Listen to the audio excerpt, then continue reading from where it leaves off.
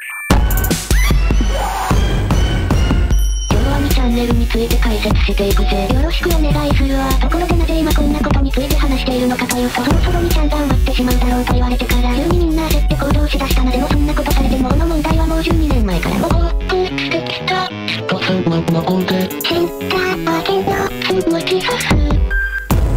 過去の不潔に気ると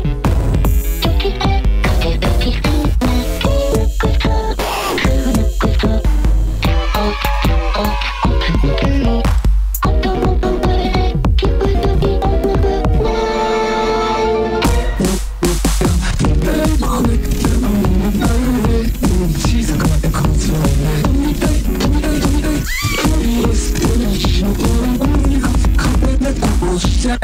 顔につまんねなんできっと環境のためにみちゃんだけの人間にわらの墓穴見てると塩をかける傷